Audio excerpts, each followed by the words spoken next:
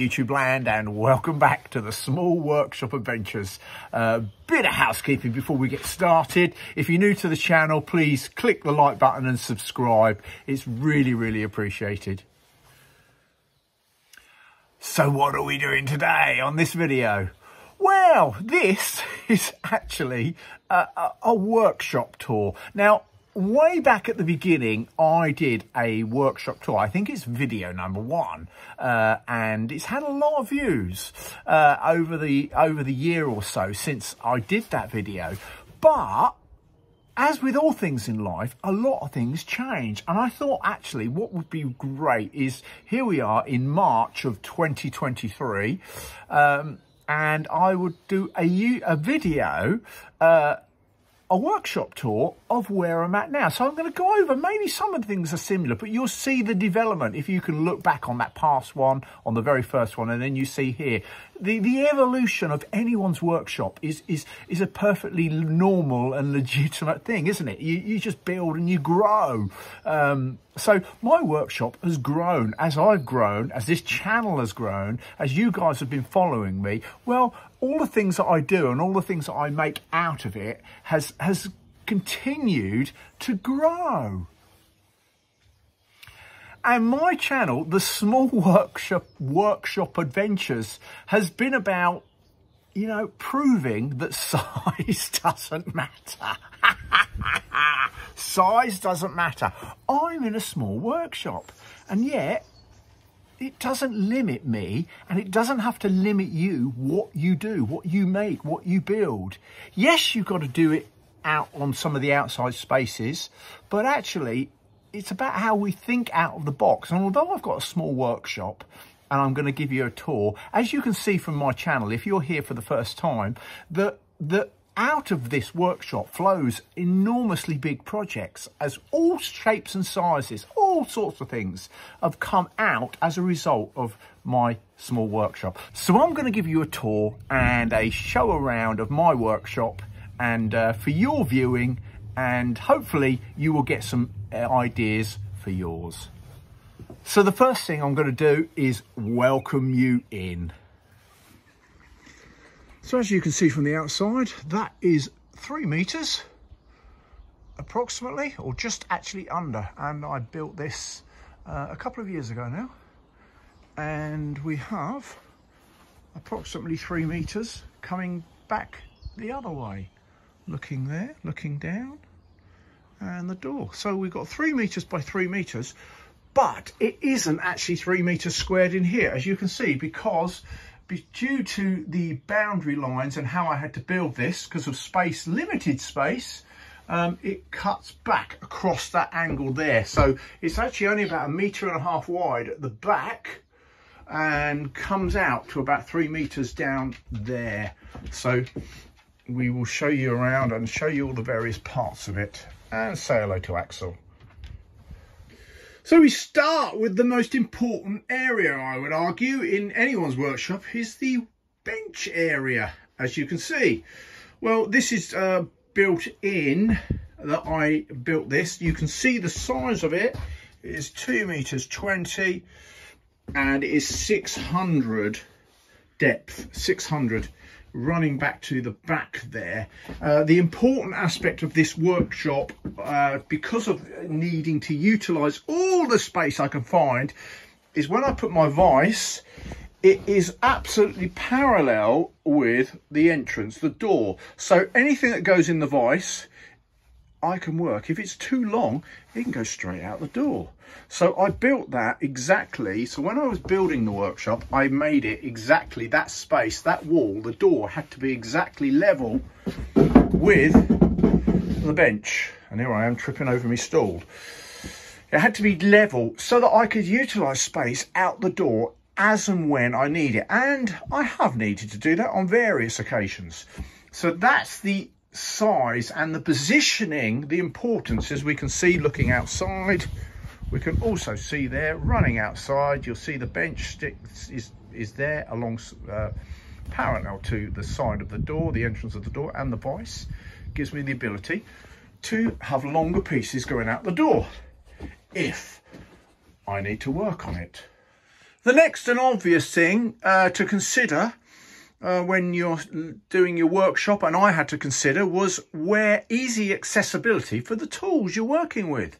So around the bench, as you can see, is a number of shelves and storage of where we can put all the tools that that come and go from my workshop. So as you see, I put at the back of the bench, I've got, obviously you've got your power uh, at the back of the bench and you've got various shelves and shelving to put things on.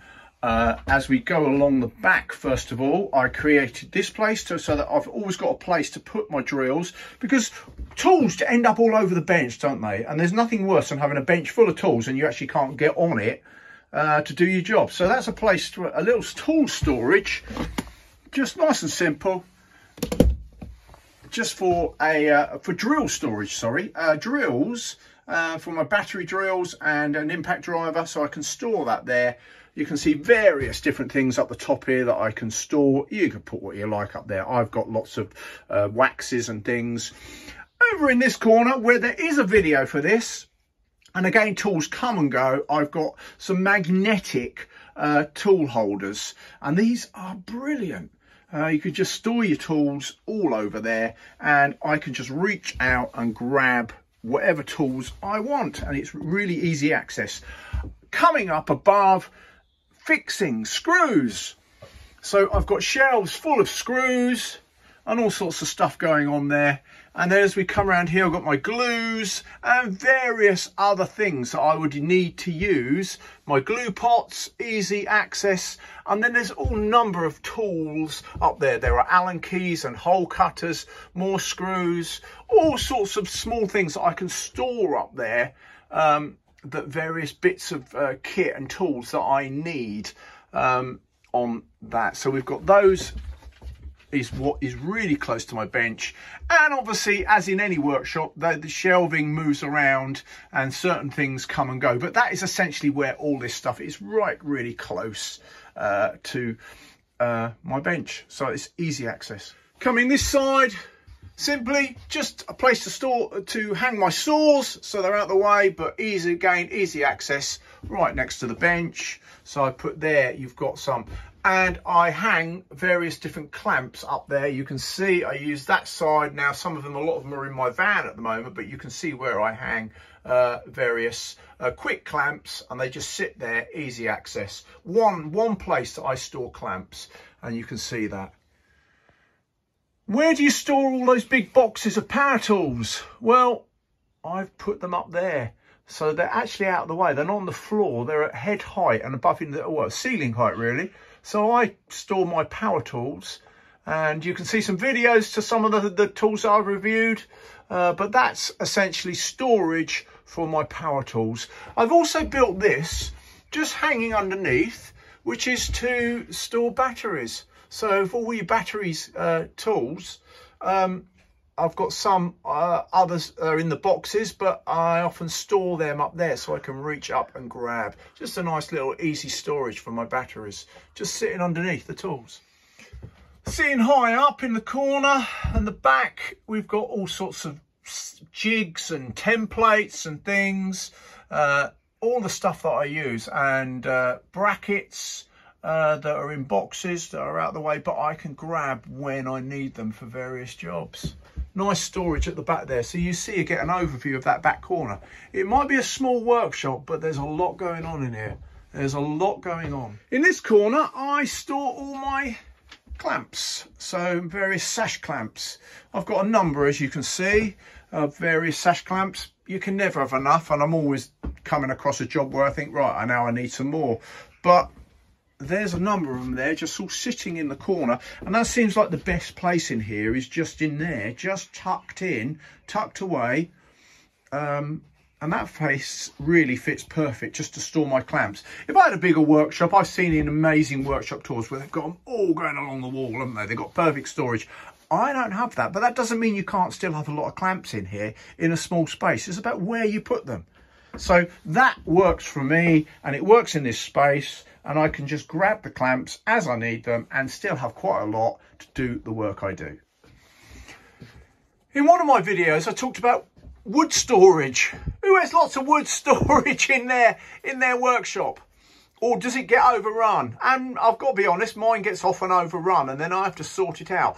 But I've created wood storage uh, above the door on brackets and again over on that long wall so you can see there uh, wood storage is going along there along the back wall uh, of various bits of timber and wood that I want to store uh, have some nice bits there. Anything that's big I'll just move my stool.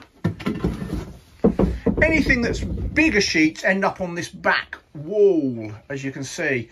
So I use that uh, for bigger sheets or bigger pieces that I'm storing in here up against uh, for wood storage. So again, it's about thinking where can I put things, but me, doesn't mean I'm going to get overrun and I just simply can't get in here. So it's about using every space and every space having a purpose. I have hanging on my wall some sleds and some jigs. That's a router jig to uh, to use uh, with a router and there we have a sled for my table saw so it's hanging on the wall it's out the way and whenever I need to use it I can just pull it out coming over in this corner. I've got more bits of wood that I stand up in the corner and various things. Uh, storage for my uh, my grinder to sharpen my my bench grinder to sharpen chisels. That's stored up there on the wall as you can see there. And more storage. And I store underneath. I've created this workstation uh, to store effectively. I don't really work in this corner, but everything has to have a place. And I talk about, you know, real estate is really precious when you're in a small workshop. Now, these are all movable and I have my drill press in the corner and my bandsaw, which again sit there. I can work in this corner if it doesn't get too much stuff going on but I often bring them over to my bench because they're all portable and it's about what you can use. Now, would I like a bigger bandsaw if I had a bigger workshop? Yes, but I haven't. So it's about, but it doesn't stop, it doesn't have to stop you because you've got a limited space. You can see storage under there that I've created for more power tools and more things. I have also under there my dovetail jig. I don't know whether you can see that. Just bring it in there. Yeah, it's sitting under there. dovetail jig uh, to make uh, dovetails, which I do occasionally for some furniture. Little simple ideas like whole, keeping your, your sandpaper. It's really simple, really straightforward. Just a little bit of timber sticking out, hang that. And under here at the back, just all those loose bit of sandpaper. Where do they go? They end up all over the place, don't they? Well, there's a little place just to stick all the bits of used sandpaper that still have some life in it that I don't want to throw away. And that's just sitting at the back of my bench. Up here, we have more storage. We have another place. And again, I utilise all the spaces I can in the workshop. It's about utilising, creating spaces. My first aid kit, which is really important more fixings and things that I take in and out. Um, sandpapers, belts, all sorts of tapes and things up on this side. Just a little storage for my Japanese saws. One is here and one is in my toolbox. But a little place to store Japanese saws and my carving knives, which sit nicely on the side there. Again, using that space. So well, what can I use that space for? what can I put there that will be useful? This little bit of kit, this little idea, uh, is a extra pair of hands when I'm working with my table saw. So it's a gate, it's on, a, it's a swinging gate. Now how that works is when my table saw is out here and you're pushing things off and it's too long and you don't want it to fall, I literally swing that out it is now supporting the piece of timber as it comes off the end of the table saw and goes out the door and it doesn't drop. So it makes it a lot, lot easier to cut longer lengths of material on my table saw when my table saw is effectively out here in the middle of the workshop. And you can see that little gate. It's effectively like a man standing or a, or a woman or, or somebody standing behind at the back, taking the feed out of your table saw, but that supports it to come off the end because I'm working on my own. Coming over this side of the door, I've got various uh, workmates and sawhorses that sit tucked in just nicely on the wall space. Again, storage is just, but where can I put them? But, and they're out of the way. They don't ever get in the way for me there. They sit there and I can pull them out and use them as and when I need extra workspace to move things. But they store lovely, just right there, as you can see. Under your workbench, more space. How can I use it? How can you use it? Well, this is how I've used, I've, I've done it in my workshop. You can see I've got some much bigger tools.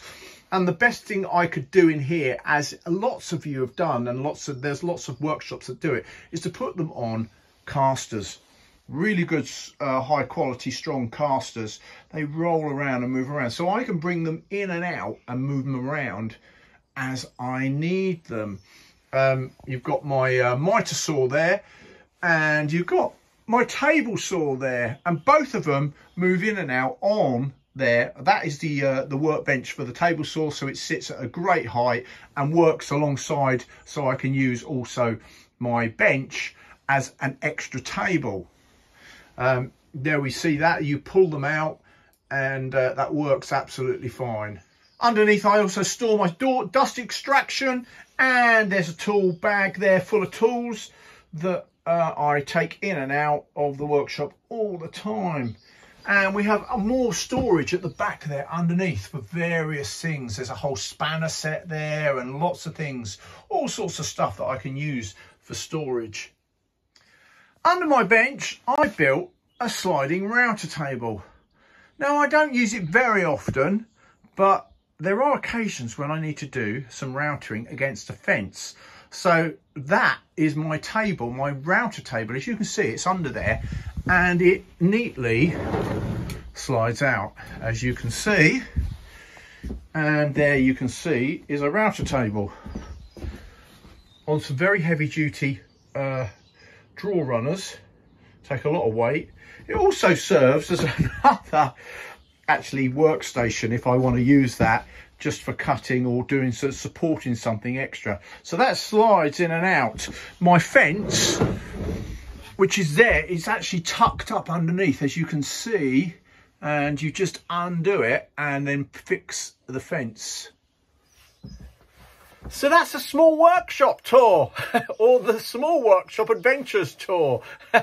It's it's small but it doesn't have to limit you does it I think you think, oh, I'm just not going to be able to do anything. Well, actually, you can if you just think creatively and use the space really creatively and think. Now, if you maybe you get some ideas of how you, if you're starting up a workshop, or maybe you've got a workshop and you think, I could do, I could organise this better. Maybe you could get some ideas from what I've just shown you but it's about doing what works for you. It's not necessarily about copying what's in here. It's about looking at your space and thinking, how can I adapt some of those ideas and actually make it work for me in my small workshop? As they say, the only thing that limits us is our imagination.